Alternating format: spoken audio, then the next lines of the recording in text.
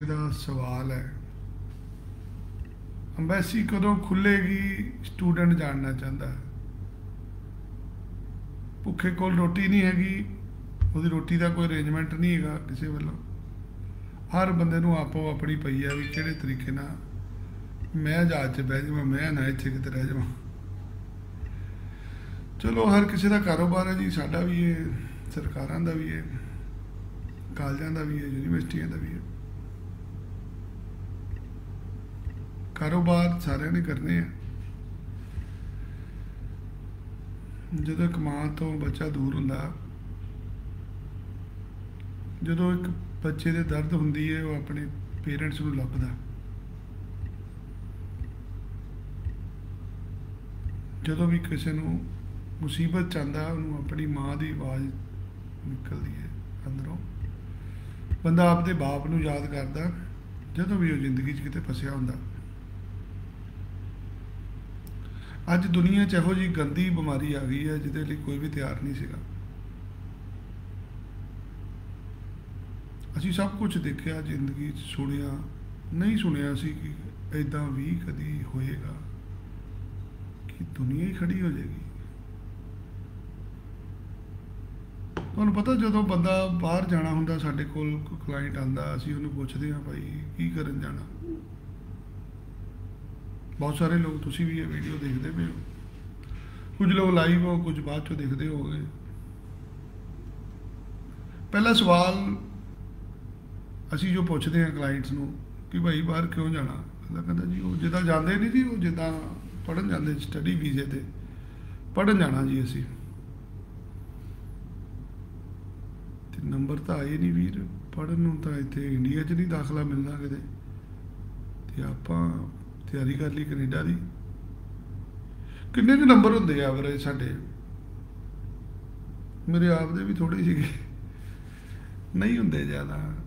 ਮੁਸ਼ਕਲ ਨਾਲ ਅਸੀਂ ਲੋਕ ਪਾਸ ਹੁੰਦੇ ਆ।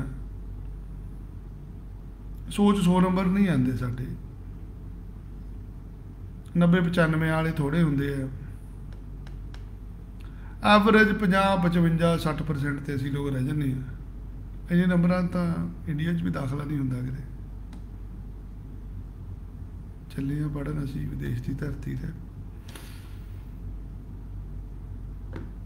ਜਿੰਨੇ ਜਾਣਾ ਉਹਨੂੰ ਵੀ ਪਤਾ ਕਿੰਨਾ ਕਮਾਨਾ ਉਹਦਾ ਪੜ੍ਹਾਈ ਦਾ। ਜਿਨ੍ਹਾਂ ਨੇ ਭੇਜਣਾ ਉਹਨਾਂ ਨੂੰ ਵੀ ਪਤਾ ਕਿ ਕਿੰਨੇ ਕੁ ਉਹਨਾਂ ਨੇ ਭੇਜਤੇ ਹਾਰਵਰਡ 'ਚ ਐਮਆਈਟੀ 'ਚ, ਜਾਂ ਕੈਂਬਰਿਜ 'ਚ, ਆਕਸਫੋਰਡ 'ਚ। ਮੈਂ ਨਹੀਂ ਭੇਜਿਆ ਕੋਈ ਵੀ ਪਿਛਲੇ 11 ਸਾਲਾਂ 'ਚ। ਵੀ ਮੈਂ ਕਿਸੇ ਨੂੰ ਹਾਰਵਰਡ 'ਚ ਦਾਖਲਾ ਕਰਾ ਕੇ ਦਿੱਤਾ ਹੋਵੇ ਜਾਂ ਮੈਂ ਕਿਸੇ ਨੂੰ ਐਮਆਈਟੀ ਬਾਰੇ ਦੱਸਿਆ ਹੋਵੇ। ਢੰਗ ਬਣਿਆ, ਲੋਕੀ ਵਰਤਦੇ ਆ। ਹਰ ਇੱਕ ਚੀਜ਼ ਇੱਕ ਢੰਗ ਹੈ ਅੱਜ ਪੈਸਾ ਕਮਾਉਣਾ ਹਰ ਕੋਈ ਚਾਹੁੰਦਾ, ਹਰ ਮਾਪੇ ਚਾਹੁੰਦਾ ਕਿ ਕਿਸੇ ਤਰੀਕੇ ਸਾਡਾ ਵੀ ਬੱਚਾ ਕੈਨੇਡਾ ਦੇ ਜਹਾਜ਼ 'ਚ ਬਹਿ ਜਾਵੇ। ਅੱਗੇ ਗਰੀਬ ਲੋਕ ਬਾਹਰ ਜਾਂਦੇ ਹੁੰਦੇ ਸੀ, ਜਿਨ੍ਹਾਂ ਕੋਲ ਪੈਸੇ ਨਹੀਂ ਸੀ, ਮਾਤੜ ਲੋਕ ਮਿਡਲ ਕਲਾਸ ਫੈਮਿਲੀ ਤੋਂ। ਅੱਜ ਉਹਨਾਂ ਦੇ ਨੋਟ ਬੰਦ ਹੋਏ। ਅਮੀਰ ਘਰਾਂ ਦੇ ਲੋਕ ਚੰਗੇ ਪਰਿਵਾਰਾਂ ਦੇ ਕੋਲ ਲੋਕ। ਚੰਗੇ ਜ਼ਿਮੀਦਾਰ 50 50 100 100 ਕਿੱਲਿਆਂ ਵਾਲੇ ਵੀ ਹੁਣ ਵਿਦੇਸ਼ ਜਾਣ ਲੱਗ ਪਏ। ਸਟੱਡੀ ਵੀਜ਼ਾ ਇੱਕ ਵਰਦਾਨ ਬਣ ਕੇ ਆਇਆ, ਜਿਹਦੇ ਚ ਪਰਸੈਂਟੇਜ ਬਹੁਤ ਵੱਧ ਗਈ। ਜਿੱਥੇ ਜੰਗਲਾਂ ਦੇ ਜ਼ਰੀਏ ਦੋ ਨੰਬਰ ਤੇ ਤਰੀਕਿਆਂ ਨਾਲ ਤੁਰ ਕੇ ਟੋਂਕੀ ਲਾ ਕੇ ਲੋਕ ਪਹੁੰਚਦੇ ਸੀ। ਅੱਜ ਅਗਲਾ ਆਈਲੈਟ ਵਾਲੀ ਕੁੜੀ ਨਾਲ ਵਿਆਹ ਕਰਾ ਕੇ ਟੌਰ ਨਾਲ ਜਹਾਜ਼ ਦੇ ਵਿੱਚ ਬੈਠ ਕੇ ਜਾਂਦਾ ਇਕੱਠੇ। ਕਿ ਲਓ ਜੀ, ਆ ਗਏ ਆ ਪੱਕੇ ਕੈਨੇਡਾ ਵਾਲੇ। ਜਹਾਜ਼ ਕਦੋਂ ਚੱਲਣਗੇ, ਇਹ ਮੇਰਾ ਇੱਕ ਸਵਾਲ ਹੈ। ਮੈਨੂੰ ਵੀ ਦੱਸ ਦਿਓ ਕਦੋਂ ਚੱਲਣਗੇ, ਕਿਉਂਕਿ ਮੈਂ ਵੀ ਤੁਹਾਡੇ ਵਰਗਾ ਕਈਆਂ ਨਾਲੋਂ 2-4 ਸਾਲ ਵੱਡਾ ਹੋਊਂਗਾ। ਪੜ੍ਹਾਈ ਮੇਰੀ ਵੀ ਸਰਕਾਰੀ ਕਾਲਜ 'ਚ ਹੀ ਹੋਈ ਆ, ਕਾਰੋਬਾਰ ਕਰਦੇ ਹਾਂ ਹਰ ਰੋਜ਼। ਲੋਕਾਂ ਨੇ ਨਾਮ ਮੇਰਾ ਠੱਗ ਰੱਖਿਆ ਹੈ ਖੁਸ਼ੀ ਹੁੰਦੀ ਹੈ ਕਿ ਲੋਕ ਠੱਗ ਕਹਿੰਦੇ ਆ। ਚਲੋ ਜਿਹਦਾ ਜੋ ਦਿਲ ਕਰਦਾ ਅਗਲਾ ਕਹੀ ਜਾਂਦਾ ਜੀ। ਮੁੱਦਾ ਵੀ ਜਹਾਜ਼ ਕਦੋਂ ਚੱਲਣੇ ਆ? ਕੀ ਕਰਨੇ ਜਹਾਜ਼ ਚਲਾ ਕੇ? 14 ਦਿਨ ਲਈ ਹਸਪਤਾਲ 'ਚ ਰਹਿਣ ਨੂੰ ਤਿਆਰ ਹੋ। ਜਹਾਜ਼ ਤਾਂ ਸਵੇਰੇ ਵੀ ਚੱਲ ਜੂਗੇ। ਬੜੀ ਮੁਸ਼ਕਲ ਪਰਮਾਤਮਾ ਨੇ ਟਾਈਮ ਦਿੱਤਾ ਜੀ ਅੱਜ। ਇਹ ਬਿਮਾਰੀ ਨੇ ਬਹੁਤ ਕੁਝ ਸਿਖਾਇਆ ਦੁਨੀਆ ਨੂੰ। ਤੁਸੀਂ ਦੇਖੋ, ਤੁਸੀਂ ਕੁਝ ਸਿੱਖਿਆ ਜੀ ਇਸ ਬਿਮਾਰੀ ਤੋਂ? ਲਾ ਲਿਆ ਜ਼ੋਰ ਸਾਰਿਆਂ ਨੇ ਪੈਸੇ ਵਾਲਿਆਂ ਨੇ ਵੀ ਲਾ ਲਿਆ ਦਿਮਾਗ ਵਾਲਿਆਂ ਨੇ ਵੀ ਲਾ ਲਿਆ ਉਹ ਵੀ ਬਿਮਾਰੀ ਤੋਂ ਨਿਕਲ ਨਹੀਂ ਪਾਏ ਅੱਜ ਇਹ ਕੁਦਰਤ ਨੇ ਜਿਹੜਾ ਭਾਣਾ ਵਰਤਿਆ ਹੈ, ਅੱਜ ਜੋ ਹੋ ਰਿਹਾ ਵਾ ਹਰ ਕਿਸੇ ਨਾਲ एवरीवन ਇਜ਼ ਡਿਸਟਰਬਡ ਇਸ ਮੌਕੇ ਬਾਹਰ ਜਾਣਾ ਕੋਈ ਬਹੁਤ ਹੀ ਵਧੀਆ ਗੱਲ ਨਹੀਂ ਹੈਗੀ ਇਨਸਾਨ ਅਸੀਂ ਸਾਰੇ ਹੈਗੇ ਆ ਜਾਨਵਰ ਨਹੀਂ ਹੈਗੇ ਅਸੀਂ ਸਾਡੇ ਸਾਰਿਆਂ ਦੇ ਅੰਦਰ ਮੋਰਲ ਵੈਲਿਊਜ਼ ਹੈ। ਅਸੀਂ ਪਰਿਵਾਰ 'ਚ ਰਹਿੰਦੇ ਆ ਮਾਪੇ ਭੈਣ ਭਰਾ ਦੇ ਨਾਲ ਰਹਿੰਦੇ ਆ ਕਿਸੇ ਦਾ ਦਰਦ ਹੁੰਦੀ ਹੈ, ਉਹਨੂੰ ਦਵਾਈ ਲਿਆ ਕੇ ਦਿੰਦੇ ਆ ਸਵੇਰ ਨੂੰ ਕੈਨੇਡਾ 'ਚ ਦਰਦ ਹੋ ਗਈ, ਦਵਾਈ ਕਿਹਨੇ ਲਿਆ ਕੇ ਦੇਣੀ ਤੁਹਾਨੂੰ? ਕੰਮ ਤੇ ਨਹੀਂ ਲੱਗੇ ਤੁਸੀਂ, ਜਾਂਦਿਆਂ ਕੰਮ ਨਹੀਂ ਮਿਲਣਾ ਤੁਹਾਨੂੰ। ਜਹਾਜ਼ ਚੱਲ ਵੀ ਜਾਂਦੇ, ਫਿਰ ਵੀ ਨਾ ਜਾਇਓ ਹਜੇ। ਕਦੋਂ ਜਾਣਾ ਚਾਹੀਦਾ? What is the right time ਬੜੇ ਲੋਕ ਪੁੱਛਦੇ ਆ। ਚਲੇ ਜਾਓ, ਮੇਰੇ ਵੱਲੋਂ ਸਤੰਬਰ ਚਲੇ ਜਾਓ, ਜਨਵਰੀ ਚਲੇ ਜਾਓ, ਮਈ ਚਲੇ ਜਾਓ। ਜਦੋਂ ਤੁਹਾਨੂੰ ਲੱਗੇ ਕਿ ਹਾਂ, ਤੁਸੀਂ ਠੀਕ ਠਾਕ 에ਅਰਪੋਰਟ ਤੇ ਉਤਰ ਸਕਦੇ ਹੋ, ਤੁਸੀਂ ਆਪਦੇ ਕਿਸੇ ਰਿਸ਼ਤੇਦਾਰ ਘਰ ਜਾ ਸਕਦੇ ਹੋ, ਤੁਹਾਨੂੰ ਉੱਥੇ ਕੰਮ ਮਿਲ ਸਕਦਾ, ਤੁਸੀਂ ਆਪ ਦਾ ਖਰਚਾ ਪਾਣੀ ਕੱਢ ਸਕਦੇ ਹੋ then that will be the best time ਉਦੋਂ ਚਲੇ ਜਾਓ ਅੱਜ ਸਰਕਾਰਾਂ ਨੇ ਕਾਨੂੰਨ ਬਣਾਏ ਆ ਕਿ ਕਰੋਨਾ ਵਾਇਰਸ ਤੋਂ ਬਚਣਾ ਤੇ ਮਾਸਕ ਪਾ ਕੇ ਰੱਖਣਾ। ਆਪਣੇ ਹੱਥਾਂ ਤੇ ਸਵੇਰੇ ਸ਼ਾਮ ਅਲਕੋਹਲ ਵਾਲਾ ਸੈਨੀਟਾਈਜ਼ਰ ਲਾਣਾ। ਹੈ ਤੇ ਨਾਲ ਦੀ ਨਾਲ ਕੀ ਕਿਹਾ ਜਾ ਰਿਹਾ ਕਿ 14 ਦਿਨ ਵਾਸਤੇ ਇਕਾਂਤਵਾਸ ਦੇ ਵਿੱਚ, ਇਕੱਲੇ ਕਮਰੇ ਦੇ ਵਿੱਚ ਬੈਠ ਕੇ ਇਹ 14 ਦਿਨ ਦੀ ਜੇਲ੍ਹ ਹੋਣੀ ਹੈ ਤੁਹਾਨੂੰ। ਜਦੋਂ ਵੀ ਤੁਸੀਂ ਕੈਨੇਡਾ ਉਤਰੇ। ਇਹ 14 ਦਿਨ ਕਿੱਥੇ ਰਹਿਣਾ ਹੈ? ਜਿਹਦੇ ਘਰ ਰਹੋਗੇ, ਉਹਨੂੰ ਵੀ ਪਰੇਸ਼ਾਨ ਕਰੋਗੇ? ਕਿਹੜਾ ਭੈਣ ਭਰਾ ਤੁਹਾਨੂੰ ਰਿਸ਼ਤੇਦਾਰ ਹੈ ਇਸ ਟਾਈਮ 14 ਦਿਨ ਵਾਸਤੇ ਰੱਖੇਗਾ? ਚਲੋ 14 ਦਿਨ ਵੀ ਨਿਕਲ ਗਏ। ਕਿਹੜੇ ਉੱਥੇ ਜਾ ਕੇ ਤੁਸੀਂ ਮੋਰਚਾ ਜਾ ਕੇ ਸਾਂਭ ਲੈਣਾ ਹੁਣੀ? ਮਕਸਦ ਤਾਂ ਤੁਹਾਨੂੰ ਸਾਰਿਆਂ ਨੂੰ ਹੀ ਪਤਾ ਕੀ ਹੈਗਾ ਤੁਹਾਡਾ। So it is my advice this is not the right time ਹਾਂ ਅਪਲਾਈ ਕਰ ਲਓ ਵੀਜ਼ਾ, ਅਸੀਂ ਵੀ ਕਰਾਉਂਦੇ ਪਏ you can lodge your application but travel ਨਹੀਂ ਹਜੇ ਕਰਨਾ। ਟਰੈਵਲ ਜਦੋਂ ਹਾਲਾਤ ਹੋਣਗੇ, ਠੀਕ ਉਦੋਂ ਜਾਇਓ ਤੁਸੀਂ। ਹੁਣ ਹਾਲਾਤ ਕਦੋਂ ਠੀਕ ਹੋਣਗੇ, ਸਾਰਿਆਂ ਦੇ ਸਾਹਮਣੇ। ਬਹੁਤ ਸਾਰੇ ਮੁਲਕ ਹੈ ਜਿਨ੍ਹਾਂ 'ਚ ਕਰੋਨਾ ਵਾਇਰਸ ਖਤਮ ਹੋ ਗਿਆ। ਜਿਹਦੇ 'ਚ ਆਸਟ੍ਰੇਲੀਆ ਵਾ ਨਿਊਜ਼ੀਲੈਂਡ ਹੈ ਹਾਂ, ਸਵੇਰ ਨੂੰ ਉਹ ਜਹਾਜ਼ ਮੰਗਾਉਂਦੇ ਆ, ਜ਼ਰੂਰ ਜਾਓ। ਪਤਾ ਵਾ ਉੱਥੇ ਜਾ ਕੇ ਤੁਸੀਂ ਸੇਫ ਜੇ ਰੈਸਟੋਰੈਂਟ ਖੁੱਲ ਗਏ ਆ ਸਿਨੇਮਾ ਘਰ ਖੁੱਲ ਗਏ ਆ ਉੱਥੇ। ਉੱਥੇ ਕੰਮ ਕਰ ਸਕਦੇ ਹੋ, ਚਾਰ ਪੈਸੇ ਕਮਾ ਸਕਦੇ ਹੋ। ਇੱਥੇ ਤਾਂ ਦਿੱਲੀ ਵਾਲਾ 에ਅਰਪੋਰਟ ਹੀ ਬੰਦ ਹੋ ਜਾਣਾ ਜੀ।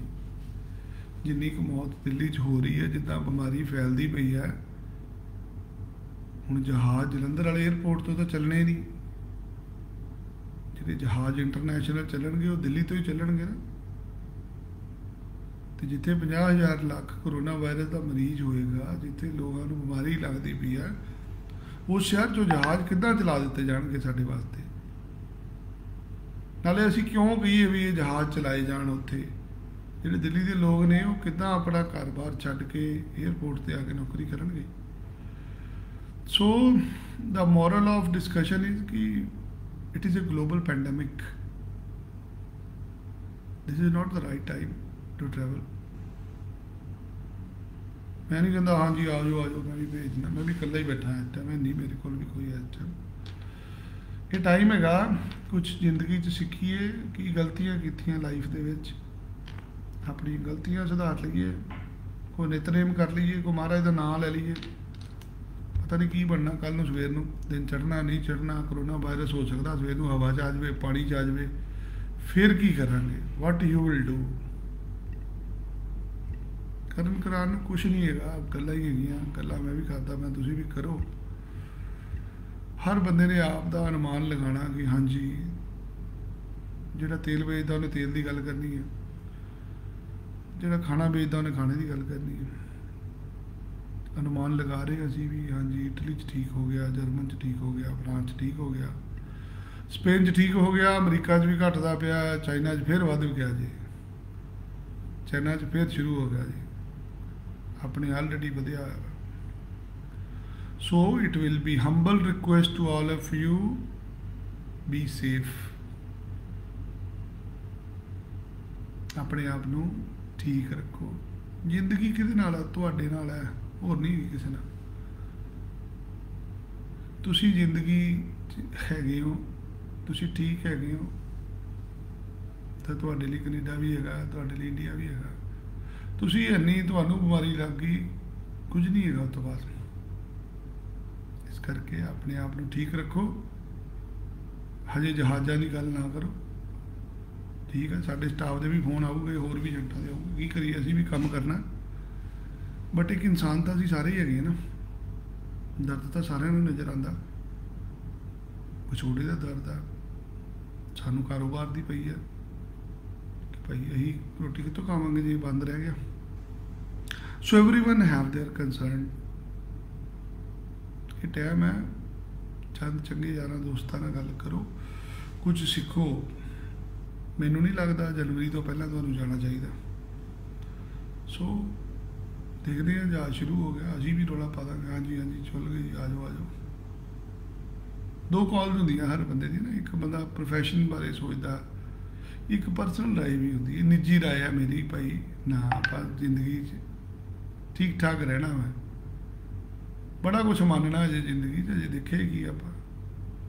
ਇਸ ਕਰਕੇ ਆਪਣੇ ਘਰ 'ਚ ਰਹੀਏ, ਨਾ ਬਾਹਰ ਫਿਰੀਏ, ਕਿਸੇ ਤਰੀਕੇ ਇੱਕ ਵਾਰ ਬਿਮਾਰੀ ਖਤਮ ਹੋ ਜਾਵੇ। ਫਿਰ ਚੱਲ ਜਾਾਂਗੇ, ਛਿੰਜਾਂ 'ਚ ਵੀ ਚੱਲ ਜਾਾਂਗੇ, ਮੇਲਿਆਂ 'ਚ ਵੀ ਚੱਲ ਜਾਾਂਗੇ। ਥੈਂਕ ਯੂ ਵੈਰੀ ਮੱਚ ਤੁਸੀਂ ਇਹ ਵੀਡੀਓ ਦੇਖਿਆ। ਮੇਰੇ ਨਾਲ ਕੋਈ ਗੱਲ ਕਰਨੀ ਹੈ ਮੇਰੇ ਫੋਨ WhatsApp ਨਹੀਂ ਸਾਰਿਆਂ ਦੇ ਜਵਾਬ ਦਿੱਤੇ ਜਾਂਦੇ। ਹਾਂ ਈਮੇਲ ਤੇ ਮੈਂ ਬਹੁਤ ਜ਼ਿਆਦਾ ਜ਼ੋਰ ਦੇ ਰਿਹਾ ਕਿ ਜਿਹੜਾ ਵੀ ਮੈਨੂੰ ਕੋਈ ਮੇਲ ਭੇਜਦਾ, ਮੈਂ ਉਹਨੂੰ ਜਵਾਬ ਜ਼ਰੂਰ ਦਿੰਦਾ। ਤੁਸੀਂ ਮੇਲ ਦੇ ਵਿੱਚ ਸਾਰਾ ਕੁਝ ਲਿਖੋ। ਮੇਰੇ ਲਈ ਵੀ ਸੌਖਾ ਹੁੰਦਾ ਵਾ। ਥੈਂਕ ਯੂ ਵੈਰੀ ਮੱਚ ਜਦੋਂ ਜਹਾਜ਼ ਚੱਲਣਗੇ ਦੱਸਾਂਗੇ। ਅੱਜ ਦਾ ਮਾਹੌਲ ਇਹੀ ਹੈ ਕਿ ਅਜੇ ਕਰੋਨਾ ਵਾਇਰਸ ਵੱਧਦਾ ਪਿਆ। ਜਦੋਂ ਘਟੇਗਾ, ਫੇਰ ਜਾਣ ਬਾਰੇ ਗੱਲ ਕਰਾਂਗੇ। ਥੈਂਕ ਯੂ ਵੈਰੀ ਮੱਚ ਸਾਰੇ ਜਣੇ ਸੇਫ ਰਹੋ। ਧੰਨਵਾਦ।